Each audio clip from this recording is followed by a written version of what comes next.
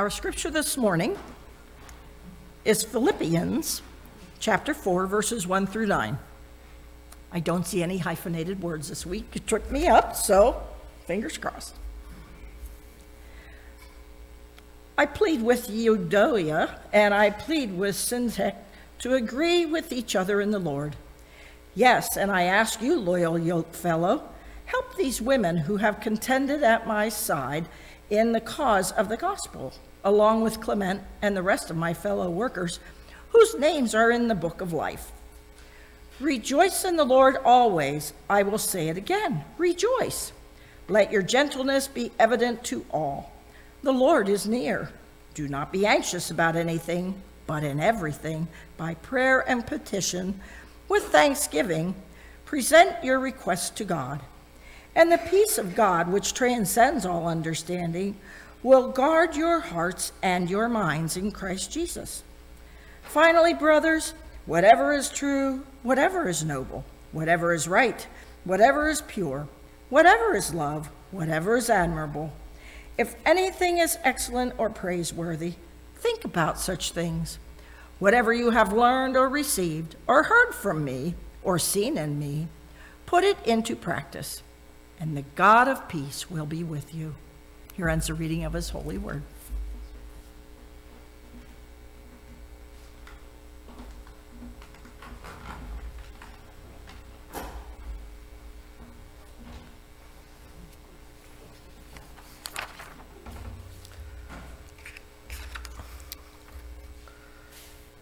So today we will continue in our series discussing the things that rob us of our ability to be grateful.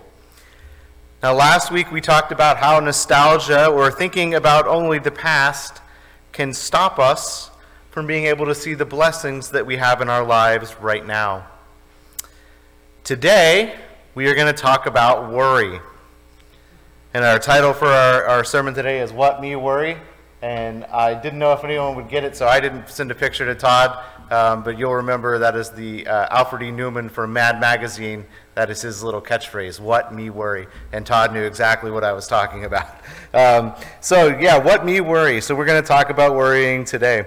In our scripture for today, Paul starts off by telling the church in Philippi that they should rejoice in the Lord always, and that they should not be anxious about anything.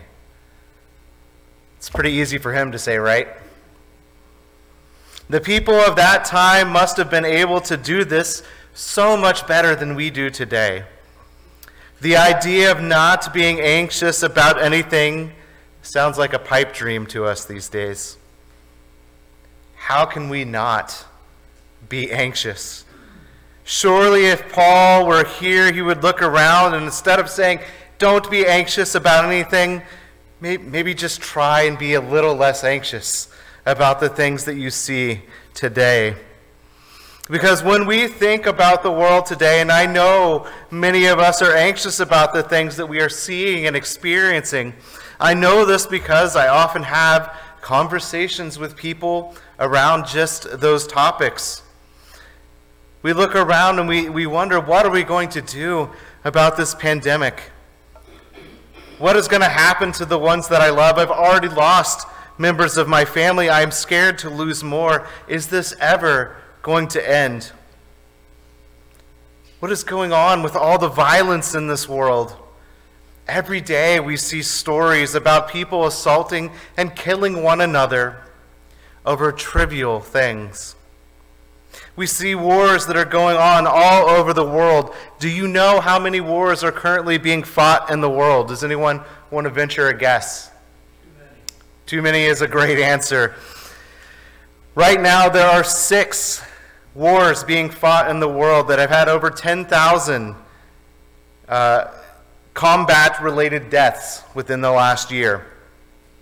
There are an additional 17 wars being fought that have had between 1,000 and 9,999 deaths in the last year. So 23 major conflicts being fought in the world today. In our own country, in the year 2018, which is the one with the most complete data because they are still compiling data over violent deaths in the last uh, three years, but 2018 has been complete as far as they are concerned. There were 68,000 violent deaths in the United States. In the midst of all this pain and carnage, how are we not to worry? We have seen violence in our own small town over the past year with at least two violent deaths that have happened. And it's hitting closer to home and it's hitting more frequently. How can we not worry? What are we going to do about the inflation that we are seeing right now? How will we be able to take care of ourselves and our families? Prices are up across the board nearly 5.4%, and I believe that's probably a low estimate. But wages have only risen around 1 to 2%, and you're telling us not to worry. You see, if Paul were here today, he would change his words, right? How can we not worry? when there are so many things to worry about these days?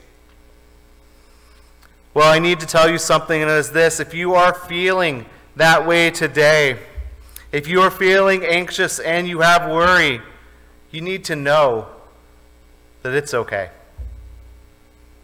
This is not going to be a sermon telling you that you are wrong if you experience worry or anxiety in your life for me to give you a sermon telling you that feeling anxious is wrong would be the highest form of hypocrisy. Because you may or may not be aware that I suffer from anxiety myself. See, I am a gifted worrier. My brain has the ability to spin the most meaningless little thing into a giant problem. I am very good at making mountains out of molehills when it comes to anxiety. And I don't want to turn today's sermon into a therapy session for me, so I'm just going to give you all one example of how I worry. And, and a, this is indeed a small thing um, that is growing into a big thing in my life. See, I worry about being sick in public. When I was younger, I had a rough experience at a hockey game, and uh, subsequently, I got sick all over the arena. Uh, and then, even worse, I got sick in my, the car of my dad's friend who was driving us to and from the game that night.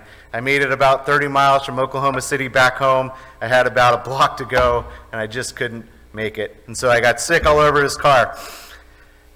So, whenever I hear about someone having the stomach bug, I have to do mental math in my head and think about how many days it's been since I've, I've seen them and I need to know that I wasn't exposed, or if I was, that I don't have to go into public anytime soon. Now, you may have noticed this morning that um, as I've been around you, I've been masked. When we laid hands on people, I stayed a bit further back than I normally would. Um, that is because a stomach bug has gone through our house this week. Um, and so for me, my anxiety level, where it might normally be a 2 out of 10, I am currently rocking a solid 8 out of 10 this morning. Um, being here in front of you and speaking um, was honestly in question up until last night for me because whenever this happens to me, this anxiety that I feel, it can be paralyzing. It makes me feel like I'm sick even if I'm not because I worry that much. In reality, in one out of 10 cases that I hear about someone being sick, I might actually end up getting sick. And in one in a thousand cases, I might get sick while I'm away from home. But I find myself spending hours upon hours worrying at times, and I've had to cancel plans because of that worry.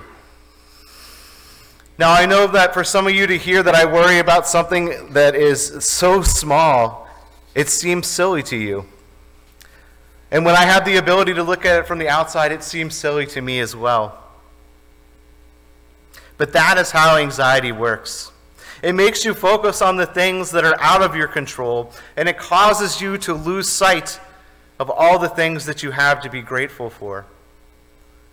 Indeed, one strategy that doctors have come up with for dealing with anxiety is to be grateful, to actually say out loud the things that you are grateful for. And they have found that that does decrease anxiety and worry. I encourage you all to try this, and I am currently doing it in my head as well. So let's go back to Paul. He couldn't possibly understand what our anxiety is like these days. He surely would have written this verse differently if you'd have been here. I don't think that's true. You see, when Paul wrote this letter, he was already a prisoner, and he was waiting for a death sentence to be carried out. He had already been nearly stoned to death, he had survived a shipwreck. The people that he was writing to were experiencing persecution because of their faith. And I don't mean that people were simply saying, You're dumb because you believe in Christ. I mean, they were worried about being hauled out of their homes and killed because of their faith. And they were dealing with their families being split apart because they were choosing to believe in Christ. So you see, Paul did understand what worry was. And he would have been able to identify it with us. So then, why write the words? Why tell people just to rejoice and not to be anxious?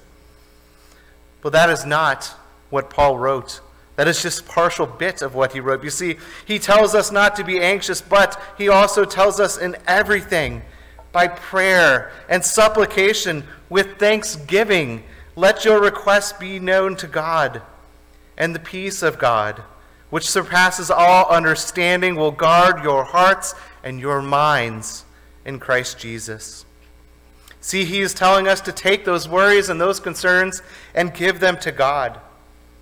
He's telling us to take our gratitude and thanksgiving and give it to him as well. Sounds exactly like what doctors have found these days, right? Naming your things you're grateful for, taking them and giving them to God as thanks. See, he tells us that the peace of God will guard our hearts and our minds, not the peace that the world teaches us, but the peace of God which surpasses all understanding. I'm sure you all know the song and heard it in your life, Don't Worry, Be Happy. Which, when you think about it, sounds something like this Don't worry about anything, just ignore it and be happy. You know, often people quote the song when they hear someone worrying in their life, right? Oh, don't worry, just be happy. Well, the song is actually about how the world is wrong to ignore all the difficulties that are happening, to simply ignore them and hope that they will go away. And Paul doesn't tell us never to worry. He doesn't tell us that we should ignore the things that are happening.